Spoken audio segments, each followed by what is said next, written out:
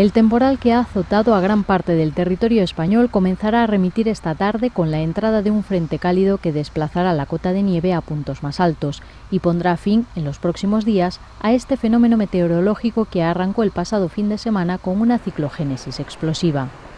Un temporal que ha dificultado el tráfico en varias carreteras secundarias, ha obligado a cerrar puertos de montaña y ha interrumpido el calendario escolar en zonas de la mitad norte peninsular, como ha sido el caso de Galicia, donde más de 5.000 alumnos no han podido asistir hoy a sus clases. En el campo, miles de explotaciones han quedado anegadas, especialmente en Aragón, donde el cauce del río Ebro se vio desbordado. En esta comunidad calculan en más de 10 millones de euros las pérdidas tras la inundación de 5.000 hectáreas de cultivo. El temporal empezará a perder intensidad a partir de hoy y podría remitir por completo el viernes.